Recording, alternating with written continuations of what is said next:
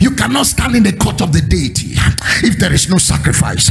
Sacrifice is a signature of the spirit and the signature of the spirit world. If you want the spirit to put his signature, to append his signature on your life, if you want to traffic in the spirit world, it's through the portals of sacrifice. God is a spirit. To enjoy the signature of God, you must live a sacrificial life. Can I talk to somebody here? You must be committed to a sacrificial demands. Sacrifice uh, gives weight, uh, gives you weight in the realm of the spirit. He attracts the hand of Yahweh on your mortal activity. Sacrifice changes your level playing ground.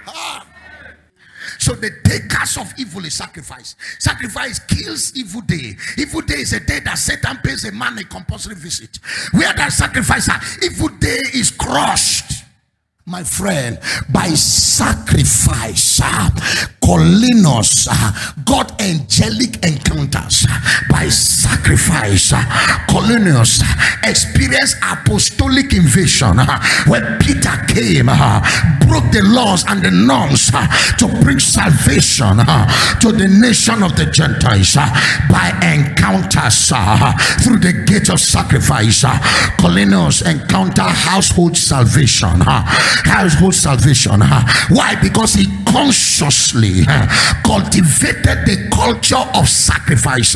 So he opened himself to the portals of the spirit and had the invasions of angelic beings and supernatural laws were suspended.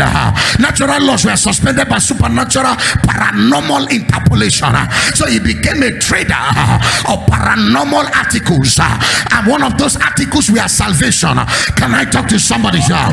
In this kingdom, hear me, sacrifice is your insurance package for an encounter with God. Do you desire an encounter? Sacrifice is the insurance package uh, to guarantee such encounter. Sacrifice is not an Old Testament practice. Sacrifice is not a New Testament truth. Uh, sacrifice is an internal principle. It's as old as Yahweh, is as old as God. God is the founder of sacrifice.